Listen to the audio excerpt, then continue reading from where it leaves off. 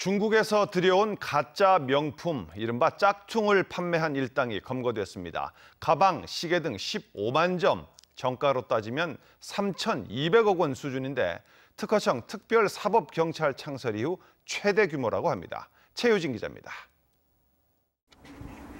창고에 쌓인 상자를 뜯으니 별천지입니다. 고급 명품 로고가 박힌 가방, 지갑, 시계 등이 끝없이 쏟아져 나오고 이 시계 엄청 비싼 시계예요 이거 사무실 벽장에도 빼곡하게 쌓여 있습니다.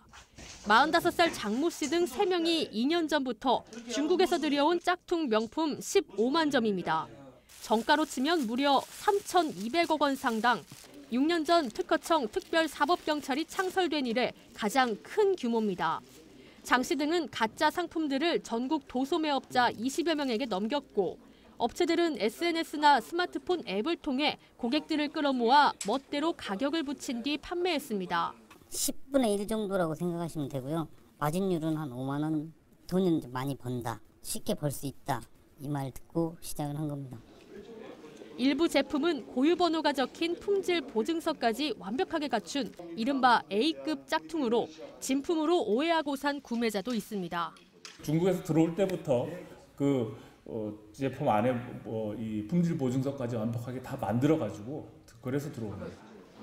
특허청은 총책 등 3명을 구속하고 유통업자 20명을 불구속 입건하는 한편 가짜 명품이 중국에서 입수된 경로 역시 수사를 확대하기로 했습니다.